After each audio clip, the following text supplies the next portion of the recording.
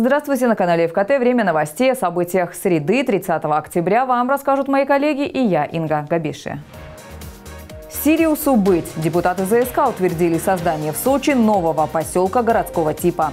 Дольщики дома на Пасечной смогут отметить Новый год в своих квартирах. Новый инвестор обещал завершить работы до конца года.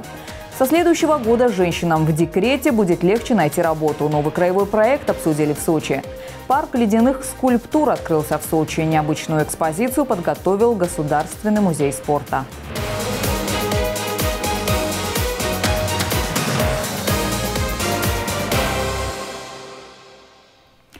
И начну с хорошей новости. Доходы краевого бюджета увеличились почти на 25 миллиардов рублей. Изменения в закон о главном финансовом документе региона сегодня приняли в законодательном собрании Кубани. Поправки внесли по инициативе губернатора. Вениамин Кондратьев лично принял участие в обсуждении. Доходная часть казны перешагнула психологическую отметку. Мы э, с вами в конце прошлого года оставили себе планку 280 миллиардов рублей собрать в краевой бюджет. А на данный момент времени мы уже имеем 305 миллиардов рублей. 305.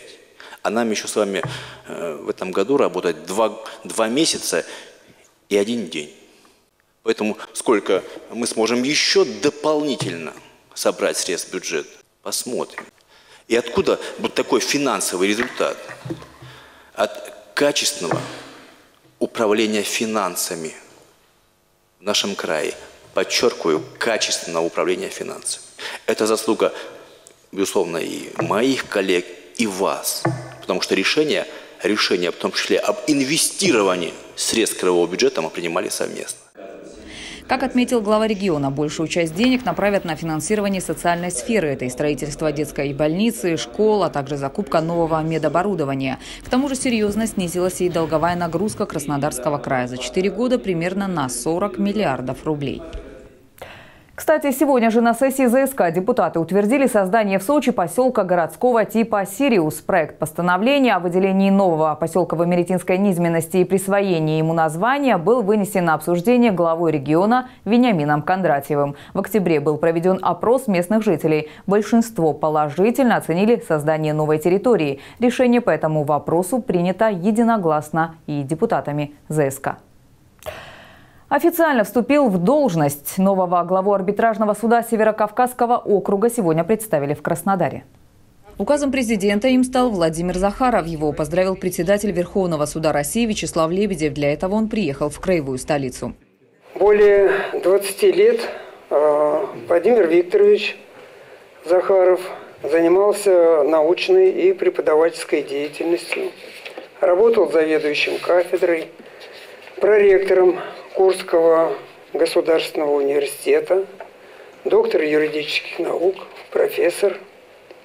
А с 2014 года Владимир Викторович э, работал, работал председателем арбитражного суда Курской области. Положительно зарекомендовал себя.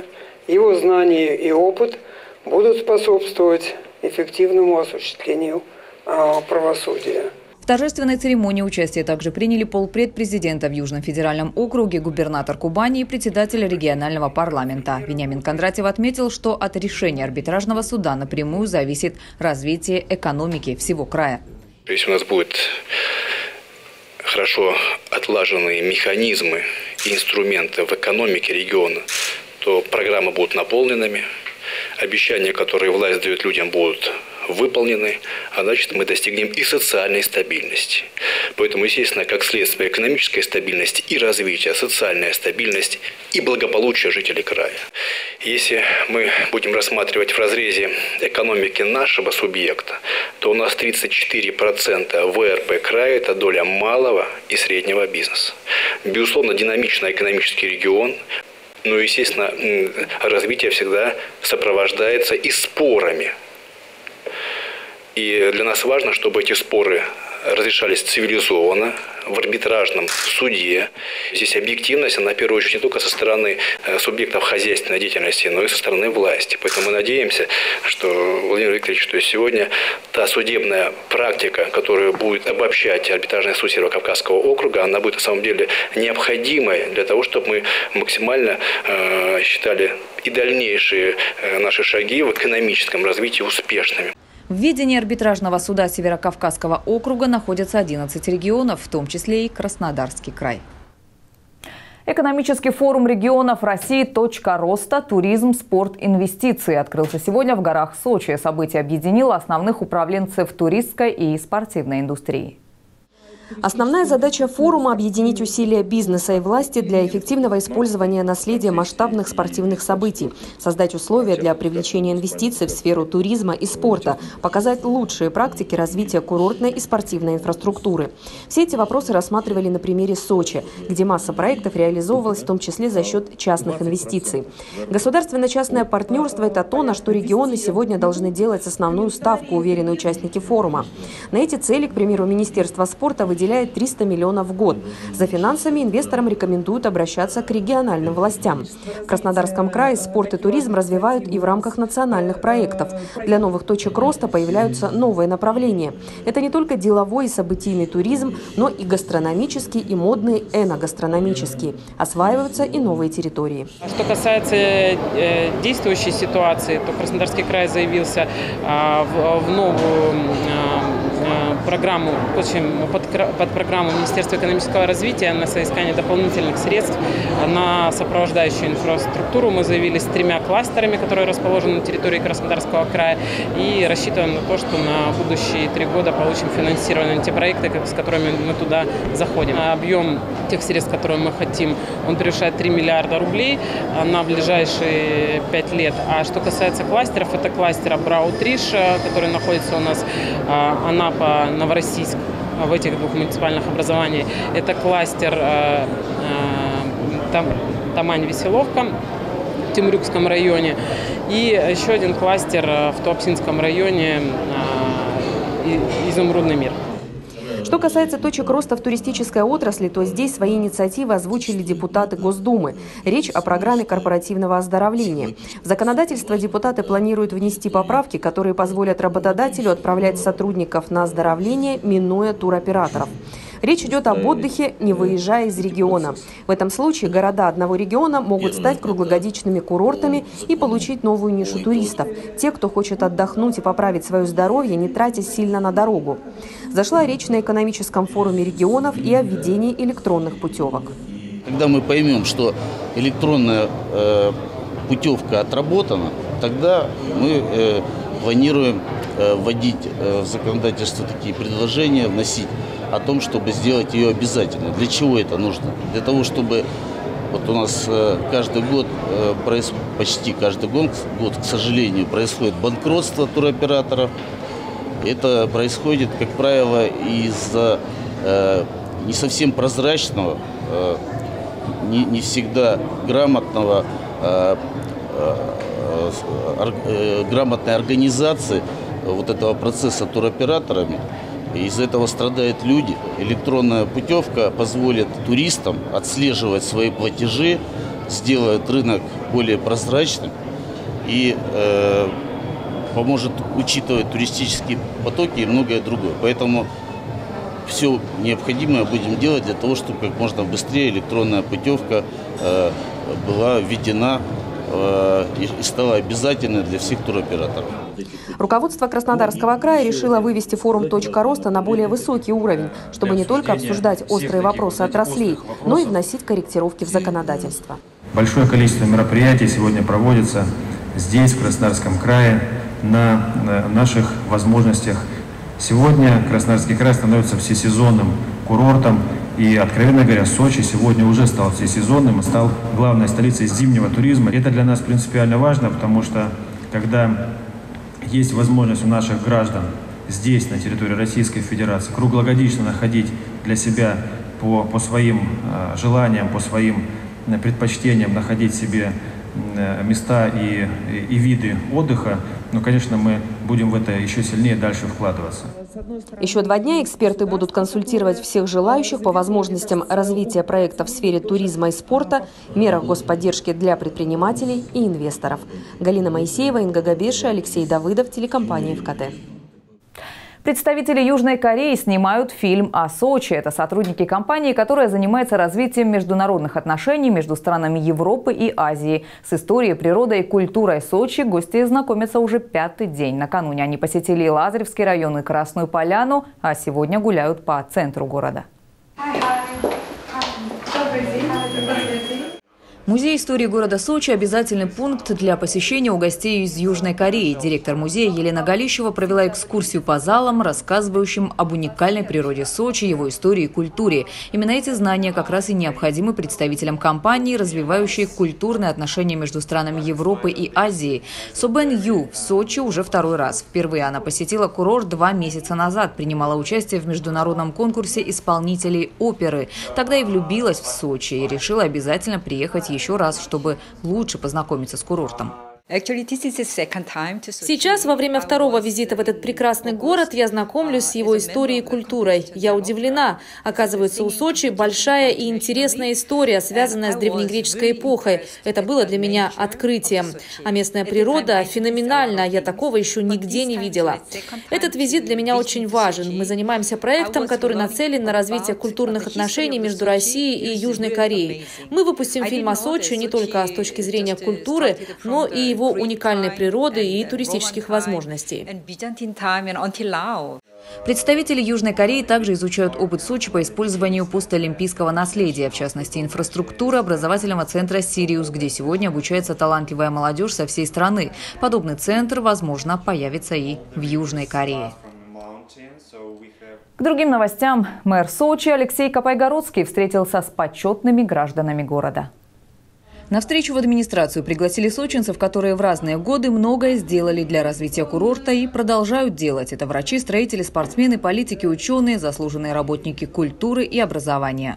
Вы все когда-то были на серьезных направлениях, на серьезных должностях, руководили большими предприятиями, руководили большими компаниями, организациями, и у вас есть серьезный уровень, мощный уровень, как это нужно делать. Для нас это очень важно. За чашкой чая обсуждали проблемы города. Это и сохранение уникальной природы курорта, и вопросы точечной застройки. Затронули и тему здравоохранения. Бывший главврач 4-й горбольницы Элеонора Рябцева предложила создать муниципальную инспекцию по контролю за городскими больницами и поликлиниками. Мэр идею поддержал. Также на встрече обсуждали вопросы возрождения былой славы Мацесты. А Алексей Воевода поднял тему низкой культуры вождения и парковки местных автомобилистов. Депутат Госдумы поблагодарил Капайгородского за возможность в таком таком формате обсуждать острые вопросы. Спасибо, что дали возможность высказаться. И вот если мы будем собираться хотя бы даже, вы сказали, раз в месяц, хотя бы раз в полгода, вот так вот обмениваться какой-то информацией, мы же все общаемся с гражданами, будет очень здорово. Спасибо большое.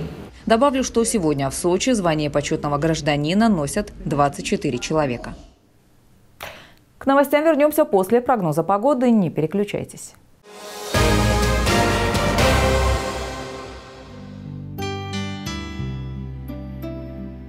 31 октября в Сочи облачно, дождь. Температура воздуха ночью плюс 9, плюс 11, днем 13-15 градусов выше нуля. Температура морской воды плюс 19. Продолжаем. Дольщики дома по улице Пасечной, 30 смогут отметить Новый год в своих квартирах. Новый инвестор обещал завершить работы в новостройке до конца года. Ход работ сегодня оценил первый замглавы города Сочи. Все подробности в нашем сюжете. Это все мы делали, это подбор В наследство от застройщика новому инвестору досталась фактически пустая бетонная коробка без коммуникаций. За полгода в дом на Пасечной 30 буквально вдохнули жизнь. Электрика, вода и канализация уже почти готовы, рассказывают представители застройщика первому вице-мэру. Ход работ под строгим контролем администрации. Сегодня очередная инспекция. Уже сейчас на 90% готовы внутренняя разводка электрики, внутренняя разводка систем водоснабжения и канализации. Подводим внешние сети электроснабжения. На 50% уже подготовили газовую котельную. А трансформаторная подстанция уже готова. На следующей неделе электричество в дом будет поступать уже не по временной схеме.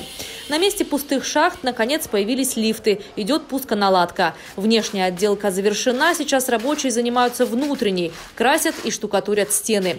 Новый застройщик вложил в достройку дома почти 60 миллионов рублей. Еще не меньше 10 придется потратить на усиление конструкции 15-этажки. Насколько она необходима, покажет экспертиза. Есть э, ряд вопросов по э, инженерным сетям, но мы наметили на сегодняшний день э, все даты и сроки, когда данная работа будет завершена. То есть окончательный объект мы можем принимать в конце декабря. Своих квартир 139 дольщиков на Пасечной ждали больше 10 лет. Надежда появилась лишь в начале лета, когда на объект зашел новый инвестор. Мы долго за этой ситуацией годами наблюдали. И ну, просто эмоции огромные, просто нет слов, что действительно мы дождались того, чего ждали. И с большой вероятностью можно сказать, что можно будет уже в этом доме и Новый год встретить. Всего в Сочи в списке долгостроев еще два года назад было 28 домов. Сегодня почти половину из них уже исключили из печального реестра. 13 объектов на сегодняшний день уже исключены. По пяти объектам, в частности, на одним из которых мы с вами присутствуем, ведутся э, работы и в ближайшее время предполагается завершение.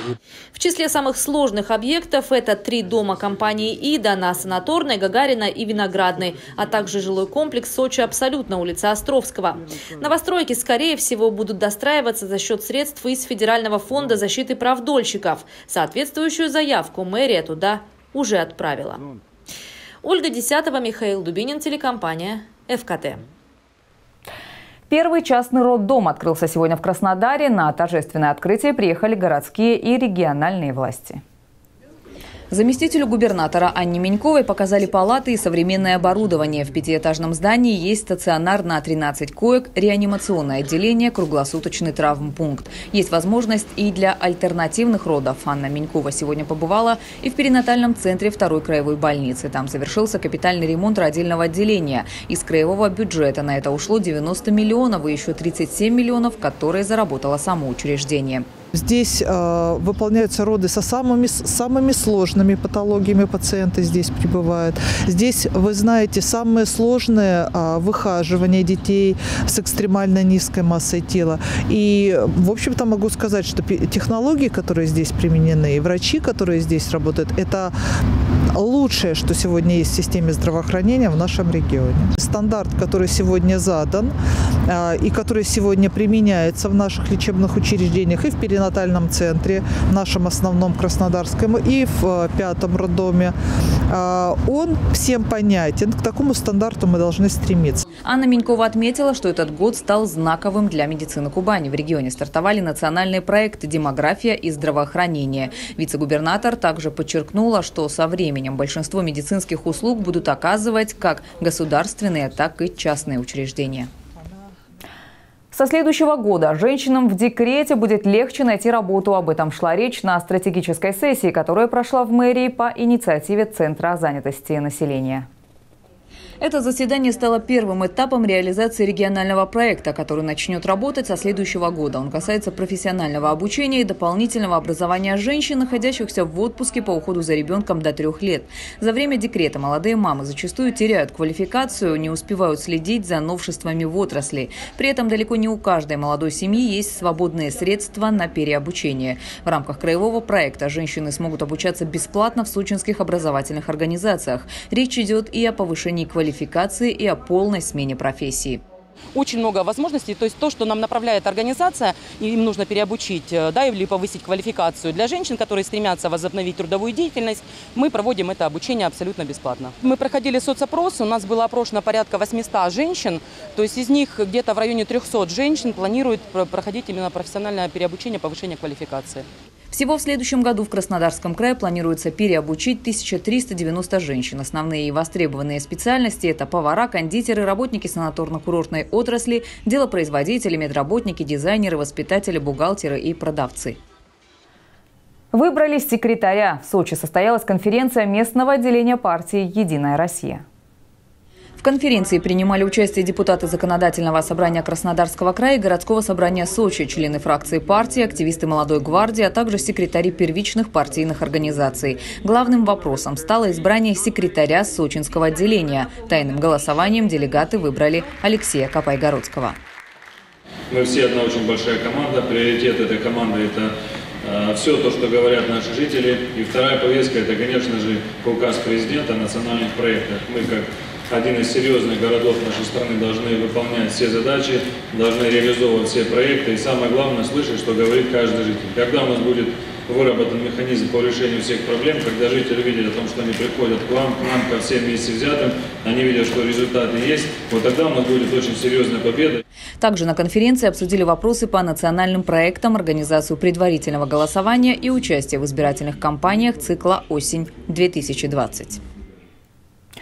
Военкомат Сочи ищет желающих поступить в военные вузы и училища в следующем году. Вступительные испытания высшее учебное заведение по программе с полной военно-специальной подготовкой проводятся с учетом результатов ЕГЭ, а по программам со средней военной и специальной подготовкой без ЕГЭ. Курсанты находятся на полном государственном обеспечении и получают ежемесячное довольствие от 12 до 20 тысяч рублей в зависимости от успеваемости. По окончании обучения выпускникам вузов присваивается присваивается воинское звание лейтенанта, а по программе средней военной специальной подготовки прапорщик. Выдается нагрудный знак и диплом квалифицированного специалиста государственного образца. Всем желающим поступить в такие учреждения нужно обратиться в военный комиссариат города Сочи на улице Горького, 29, кабинеты 3 и 4. Там можно ознакомиться с условиями вступительных испытаний, перечнем учебных заведений. Парк ледяных скульптур открылся в Сочи. Разместилась необычная экспозиция во дворце «Айсберг». Ее подготовил Государственный музей спорта. А в холле Олимпийского объекта выставлены светящиеся скульптуры, символизирующие зимние виды спорта. Они изготовлены из кристально-прозрачного материала, который напоминает лед. Однако производство искусственного куда более сложное. Как спорт, искусство и высокие технологии уживаются в одной экспозиции, расскажем в следующем материале. Изящество фигуристов, драйв хоккейного матча, высокий полет лыжников – лучшие моменты соревнований по зимним видам спорта застыли в пластике. Около 350 килограммов этого материала потребовалось для изготовления уникальных скульптур. Всего их в экспозиции 17. Арт-объекты отпечатали на 3D-принтере. Это уникальный проект, э, такого еще не было, в том числе потому, что здесь не только спорт и искусство вместе, но еще и высокие технологии. Мы в ходе большого количества экспериментов э, смогли сделать вот такие вот объемные э, фигуры, напечатанные на 3D-принтер. Если всего этого не знать, то может создаться впечатление, что фигуры изготовлены изо льда. Такого эффекта удалось достичь благодаря высокотехнологичным материалам и особому освещению. Каждая фигура содержит от 20 до 40 светодиодов. Мы печатали эти фигуры из СБС пластика. Это очень сложный пластик, неподатливый. После этого мы устанавливали внутрь освещение. Если обратите внимание, то э, свет э, из фигуры выходит рассеянный. Он не, не акцентируется в каких-то конкретных точках. Это особенность вот этого материала. Проектировать фигуры помогали российские спортсмены, но не одними скульптурами богата экспозиция. На витринах представлены кубки, медали, экипировка, снаряжение и фотодокументы, рассказывающие об истории зимних видов спорта в нашей стране. Было бы странно не отметить э, в этом замечательном ледовом дворце, э, построенном непосредственно к Олимпиаде, экипировку наших спортсменов на тех играх. Это парадный костюм, он представлен пиджаком, рубашкой, брюками, а также шапочкой. Прогуляться по саду ледяных скульптур могут все желающие. Выставка будет работать во дворце «Айсберг» до конца года. Галина Моисеева, телекомпания «ФКТ». И на этом я с вами прощаюсь. Все новости уже на нашем сайте fkt.com. Смотрите нас в кабельных сетях «Радист» на 56-й кнопке и телепакетах «Билайн» на 76-й, а также в социальных сетях, в группах «Говорит Сочи», в Фейсбуке, Инстаграме, Одноклассниках, Телеграме и в сообществе ВКонтакте. И заходите на наш канал в Ютьюбе «Говорит Сочи». В студии была Инга Габеша. Спасибо за внимание и до встречи в эфире. Одежда ведущей предоставлена мультибрендовым магазином российских производителей «Сезоны». Это новые тенденции, качественные материалы и безусловный комфорт. Найдите свой стиль по адресу улица Парковая, 17.